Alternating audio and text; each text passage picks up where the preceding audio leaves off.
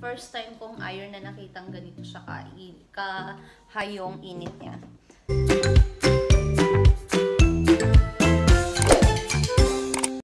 Hi guys! Good afternoon guys! Ayan si Risa. Ang kapal ng mukha. Talaga ito. Ika-share namin. Ayan yung... Eh, uh, itatry ko yung binigay bagong iron ng manager namin. Ito yung first iron na nakita ko. Sobrang laki ng Fahrenheit. Double yung plancha na meron kami. Itatry natin siya. So, ito yung pinaka So, yung Fahrenheit niya ay, tingnan nyo. Tarararan! 750! So, triple siya. Dati yung iconic namin plancha is 250 lang. Ito, oh. Grabe. So, tatry natin. Ito yung first time kong iron na nakitang ganito siya ka, kahayong init niya. So, ayan siya. Ganda, diba? Ayan! So, tararan! Naihi ako sa glit na. Ito nga yung bagong tapos ko lang ihi. Ito nga yung bagong iron na bin, binigay sa amin. So, naawa na siguro yung may-ari kasi ayaw na yung mapago. Kasi ito, napaka ano niya, napaka init niya. Yung dati kong biniling ano, iron, yun ay Black Eagle. Kala ko yun na yung pinakamainit, yung 2, uh, 480. So, ngayon, ako, nilamangan siya, 780. Sabi ko, ito na naman ang gusto kong bilhin. Na-addict na yata ako sa mga iron. So, ito daw ay nasa 300 plus. Anong tatak yan? So, kani. Ayan o. Pero, alam niyo ba yung ditong gilid niya, wala siyang pangharang. So, ito ay mainit. So, kung ito ay delikado sa scalp. So, kung mag-ano ko sa scalp, paso agad yung scalp nito. So, ito yung delikado. Oh, Dapat yan. Dili, oh, oh, maganda siya, pero yung dito niya, huwag niyo idikit sa scalp kasi masusunog. Kasi, oh, tingnan mo, ano to, hindi siya, hindi siya ceramics. Ano siya, yung baan, stainless. So, masusunog agad yung ano. Sino ka nag-ano niya? Maganda to pang curl kasi round yung dulo yan, ah. Maganda siya pang curl. So, itatry ko ngayon kung maganda siya. So, parang gusto ko tuloy ng ganito. Iba yung saksakan niya, oh. Nakakapasok. So, ayan guys. Itatry natin siya. Kailangan ng adapter kasi iba yung saksakan.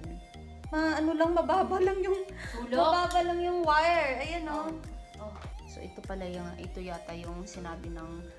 Um, nag-demo dito ng keratin na ang plancha niya ay titanium. So, yun pala yung pinakamainit. Yun yung the best. Ito na naman yung gusto kong bilhin, 300. Ay nako, na-addict na ako, ang dami ko ng plancha. Kailangan natin ng ganito.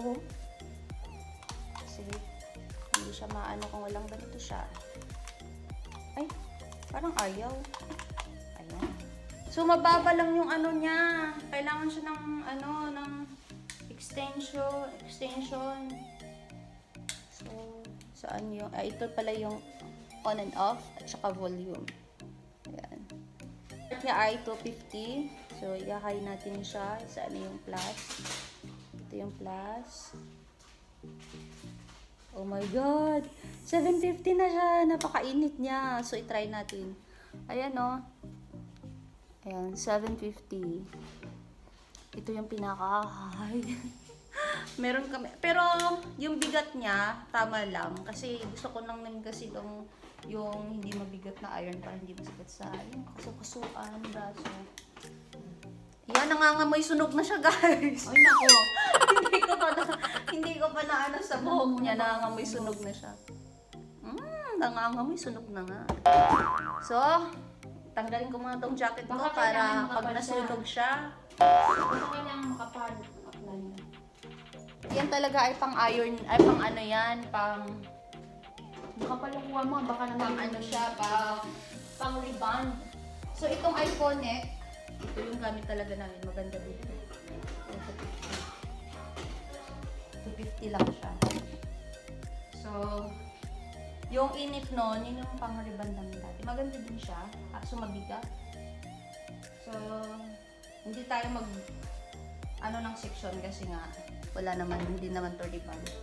Itatry na natin siya Marimar. 750 to Marimar. Ito yung delikado, oh. Oo. So, lapit natin para makita. Hindi, hindi. Huwag kang lumapit. Akong lalapit.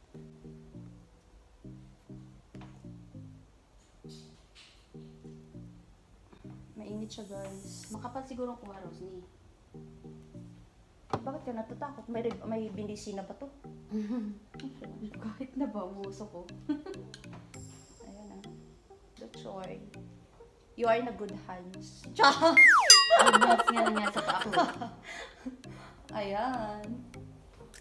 Nagre-reklamo siya kasi pinag-practice. Pinag-practicean ko yung paa niya. Ayan. Dumugo kasi guys. Sabi ko sensitive ka kasi. Kasi nga, Meron pa na. ano, oo, malapit ka ng reglahin kaya Hindi, sensitive niregla ka. Na-tense. Nagkaroon tuloy siya ng regla ngayon. Na-tense siya sa ginawa ko. Eh kasi nga matagal na akong pinipedicure. Kaya siguro ang paningin ko sa ano, paningin ko sa nipper at saka pusher ay blow dry na at saka gunting.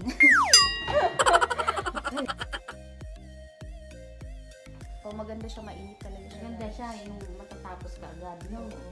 Kasi In terms sa na- initan, mag-init talaga siya. Hindi mo siya kailangan mainit. Pero, hindi ko to ma-recommend sa mga baguhan. Hindi siya recommended sa mga baguhan lang kasi baka masusubukan. Yung magpa-practice pa lang mag-keratin or mag-reband. Kasi hindi nyo matatansya kasi sobrang init niya. Kailangan kasi nito tansyahan. Hindi naman din maganda pag mag-reband ka or keratin na sobrang init. Hindi lahat hindi lahat ng buhok ay dapat sobrang init. Dapat pag i-plansya, may iba tansyahan dapat. So ito ay magaganda sa mga klase ng buhok nito. Down in mo kasi pag sinauna ba. virgin na virgin siya. So ayan, maganda siya. Masyado siyang mainit. Ala, parang gusto ko na tuloy itong bumili. Bumili na. 300 plus. Huwag mo na tanggalin yung ipit ko, ha? So guys, sobrang talaga siyang init. Tapos na Mario. Okay. Tapos ito, susunodin naman natin yung buhok Ate Anne. Ayan. Ayan, masyado siya. Sabi siya talagang mainit, oh. Ibabaw na na natin siya. Ayun, natuwid agad. Tanggal ang dryness. Tanggal ang dryness. Tanggal ang dryness sa init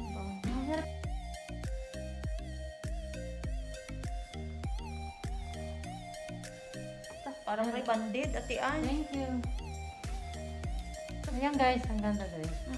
Kalantog. Please follow my channel guys. Alis makbang ka. Mukbang and Rosemary. ka?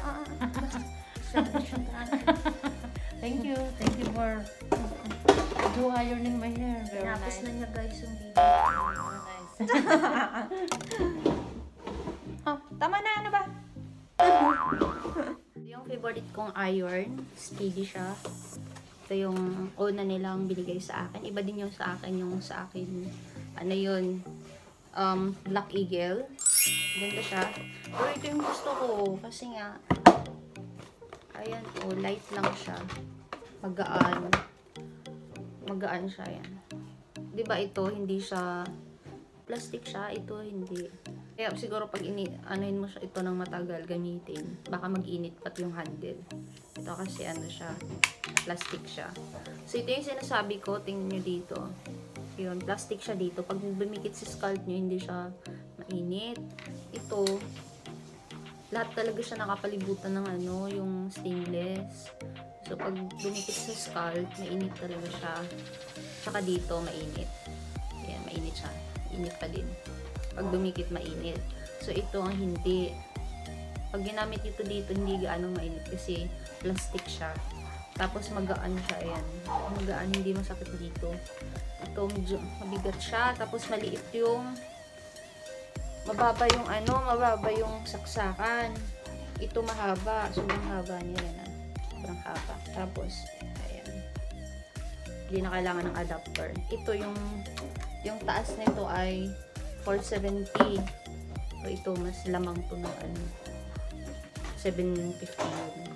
So, parang bit ko, bit ko siya ito. Parang gusto ko pa din to. Siguro kasi pag medyo makapal na talaga yung kulot na kulot pang African na yung kulot, yun na talagang gamitin. Mas maganda yun sa inyo.